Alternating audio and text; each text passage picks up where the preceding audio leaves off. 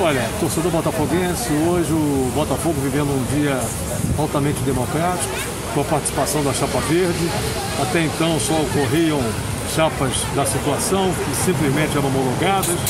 A Chapa Verde veio para se tornar uma opção ao torcedor descontente, que não concorda com a situação que o clube se encontra, e também pretendendo com isso dar um choque de realidade, o freio de arrumação.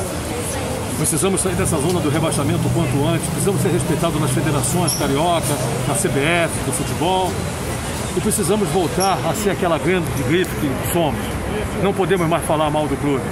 Não podemos, como dirigentes, vilipendiar ostensivamente o clube, como vem acontecendo ao longo dos anos.